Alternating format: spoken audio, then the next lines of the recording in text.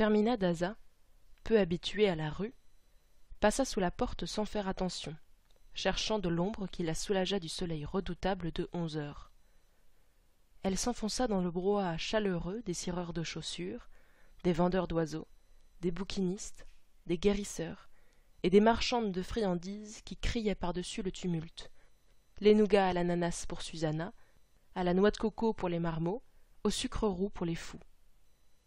Mais elle était indifférente au vacarme, car elle avait été tout de suite captivée par un papetier qui faisait des démonstrations d'encre magique, encre rouge ayant l'aspect du sang, encre miroitement triste pour les avis funèbres, encre phosphorescente pour lire dans le noir, encre invisible que révélait l'éclat de la lumière.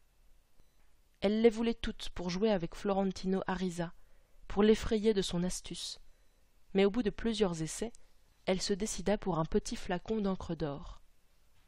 Puis elle se dirigea vers les confiseuses assises derrière leurs grands bocaux et acheta six gâteaux de chaque sorte en les désignant du doigt à travers le cristal parce qu'elle ne parvenait pas à se faire entendre au milieu des cris. Six cheveux d'ange six caramels au lait six pavés de sésame six palais au manioc six diablotins six paix de nonne six bouchées du roi six de ceci six de cela six de tout et elle les mettait dans les paniers de la servante avec une grâce irrésistible. Étrangère au tourment des nuages de mouches sur les sirops étrangère au tohu-bohu incessant étrangère aux bouffées de sueur rance qui montaient dans la chaleur mortelle.